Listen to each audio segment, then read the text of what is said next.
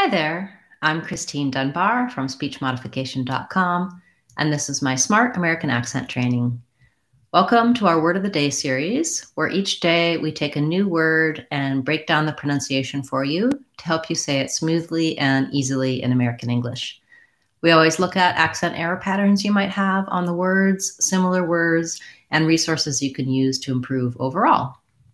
Today's word was a request from one of our Facebook fans, and she had several words that she requested. We're going to start with the first one, which is the word exhilarating. And I think it's a great word to take a look at because it has a number of different patterns, including uh, a, some letters, uh, some spelling that doesn't necessarily match the sounds. So oftentimes, words are difficult because of the sounds in the words, uh, how they relate to your native language, whether or not they're challenging sounds.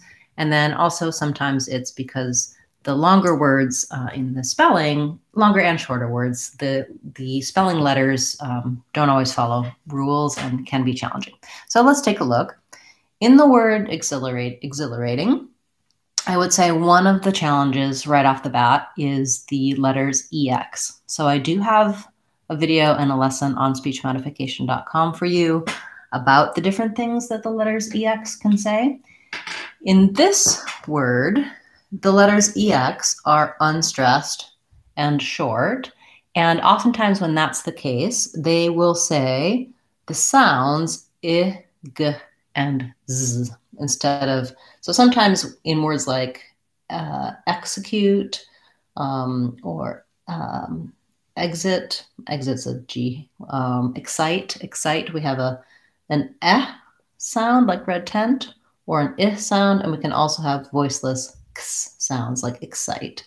In this word, it's a voice sound like g, g, and we have second syllable stress.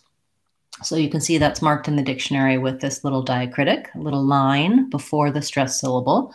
So that syllable, z, uh, zil, exil, the zil is long, exhilarating, exhilarating.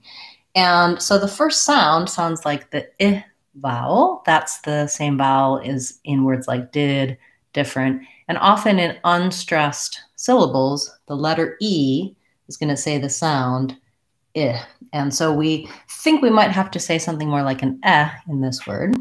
So if we think about it, it sounds like ig.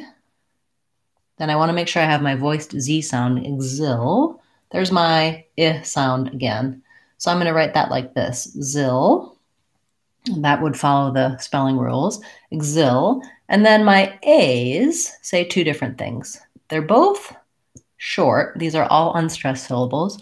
But this first one has the uh sound. It's a letter, it's a vowel schwa.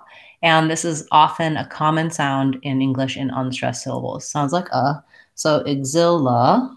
Then I have my American R. And this A says this says the A, the clear A vowel.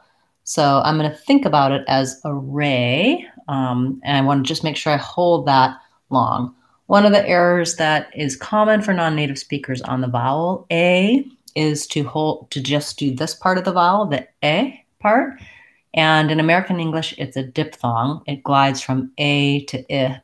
M mainly if I think about holding it longer, staying tense on it, A, and then closing and relaxing a little bit, I'll say it correctly. Many of you would say that correctly in a word like ray because it doesn't have anything after it.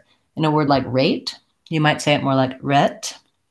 That doesn't have enough length and it's a slightly different vowel. So thinking about it as ray, exhilarate. Then the T in exhilarating is a flap T. It comes between two vowels and it doesn't start a stress syllable. I just think about it as a light, easy D. You can get a lot of help for flap T in many of my word of the day videos, as well as my videos about American T. Check those out on speechmodification.com or here on the channel. For now, just think about it as being a light D sound. Then I have another of my vowel I sounds. And then the NG sound is typically something that will have certain error patterns. One error pattern is that people will say N instead of NG, like they might say workin instead of working. That's just which part of your tongue is lifting. So working, the back of my tongue needs to lift. Workin isn't the N sound, the front of my tongue needs to lift. So we want the NG sound, which the symbol is like this. And what we don't want is a K or a G sound after. I don't want exhilarating or exhilarating. And what to in order to get that just that NG sound, I have to turn off my voice before my tongue drops. So exhilarating, my tongue lifts, my voice stops, and then I have no little k or g sound after. All right, a lot of different accent challenges in this word. You might want to build it from the stress syllable, zil, exil, exhilarating. You might also want to take it slowly, syllable by syllable, and then speed up. For example, ig, zil, a, rating, exhilarating, exhilarating. Once I can say the word exhilarating by itself, I want to begin trying to use it in some short phrases so that it comes more easily to me when I'm trying to use it when I'm speaking. Um, it was an exhilarating ride. Um, the high winds and strong rain was very exhilarating.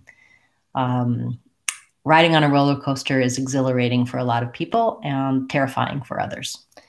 Okay, I hope that helped you with the word exhilarating. If you have a word you would like help with, please feel free to put that in the comments for this video or any of my videos on YouTube or on Facebook. I do have a long list of new videos to make for you for Word of the Day, and I've been really happy to get all your requests, comments, and questions.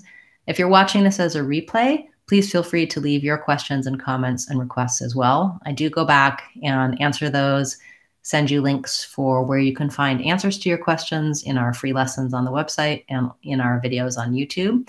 And I really appreciate everyone, uh, all that you have suggested. The ideas and suggestions you make help me know what videos to make next and what questions you have, as well as other people. Um, Thank you. I have a compliment on my hair today. It's, uh, um, you know, in the times of um, staying at home, we are um, having to make do with not going to get the hair cut, uh, just cutting it ourselves or styling it ourselves. Uh, I'll be back again tomorrow with the next word of the day video and on Friday with our question and answer class. I hope to see you in either or both of those classes. Thanks so much. I'm Christine Dunbar from speechmodification.com. Remember, if you want to sound American, you can do it. Speechmodification.com. Bye, guys. See you tomorrow.